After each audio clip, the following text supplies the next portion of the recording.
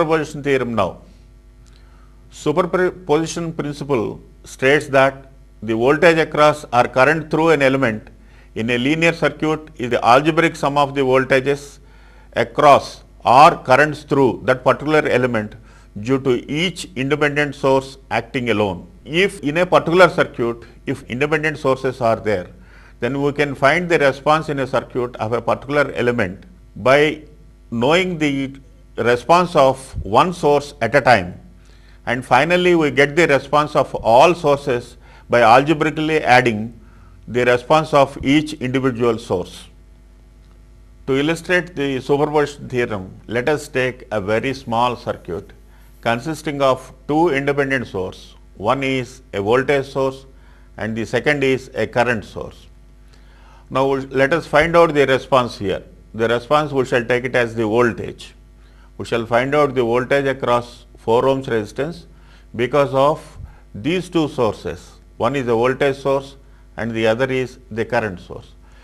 What we do is, first we find the response at the 4 ohms, namely the voltage here across the 4 ohms because of 6 volts only.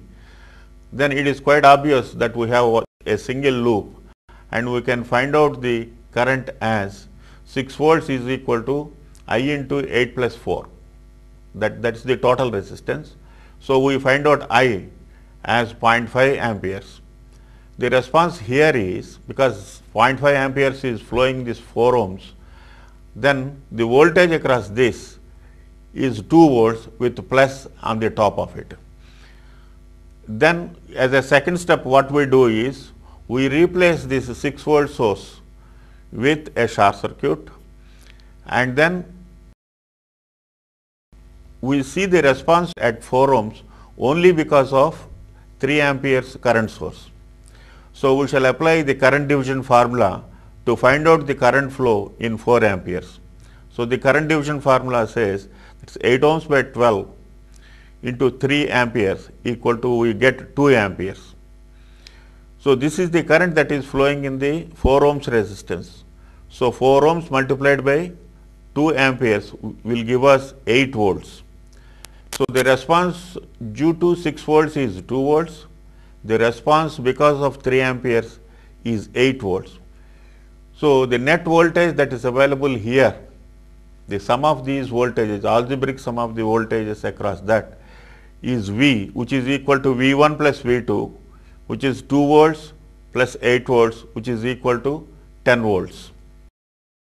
We shall verify the superposition theorem by using this simple circuit which consists of two 560 ohms resistances and 1 kilo ohm resistance. It has two sources 5 volt voltage source and 10 volts voltage source.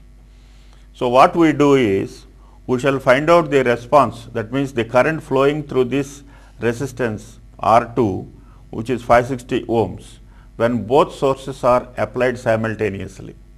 So, that we got it as 8.2 amperes. Then we shall remove this source, the right hand source and then put a short in its place and then we use only 5 volt source and find the response in the R2. Here we got it as 3.8 milliamperes. And in the third phase, what we do is we remove the 5 volts source and in its place we put a short and then we insert this 10 volts source as it is and then find the response again. So, here we will get a current equal to 4.3 milliamperes. So, here we got 3.8 milliamperes, here we got 4.3 milliamperes. If you add these two, we get 8.2 milliamperes. Directly reading it, it is getting 8.2 milliamperes. So, within experimental errors, we have verified the superposition theorem. Let us do an experiment to verify superposition theorem. First of all, let us see what this kit is. This contains a breadboard where we can insert various resistances like this and it has two sources. One source is 0 to 15 volt source, the other source is another 0 to 15 volt source. This source is connected to these two terminals and the left hand side source is connected to these two terminals. And we have two meters.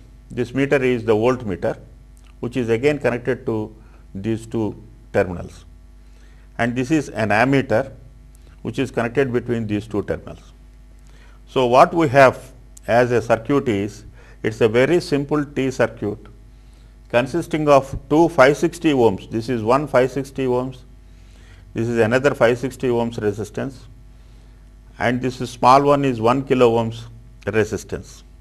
So, what we have done is we have connected this particular source to the right side of the T circuit here and here we have connected 10 volts to 10.22 to be more precise and on the left hand side between this terminal and this terminal we have connected 5 volts. We shall see what the voltage is on the left hand side. Left hand side we have connected 5.05 volts and on the right hand side we have connected 10.22 volts and the response we are measuring here in the center limb whose resistance is 560 ohms. So, the current flowing through this resistance when both sources are appearing simultaneously is 8.2 milliamperes. So, we shall record that.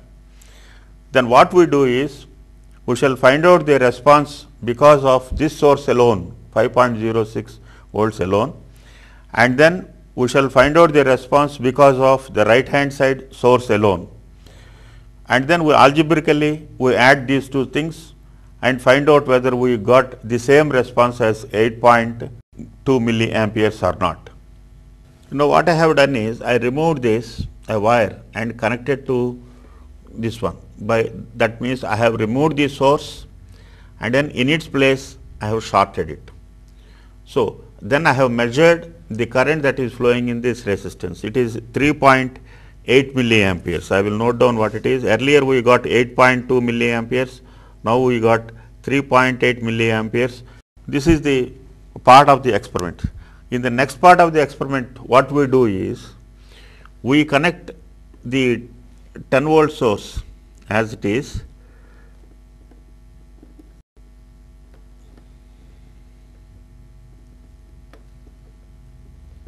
ten volt source as it is. Here we measure the voltage of the 10 volt source and then we remove 5 volt source and we short that one, short that particular terminal. So, we got it as the voltage is 10.23 and the current is 4.3 milliamperes. So, if you add the earlier reading 3.8 to 4.3, we get 8.1. So, within experimental error, we verified superposition theorem. So, this is how we can verify superposition theorem.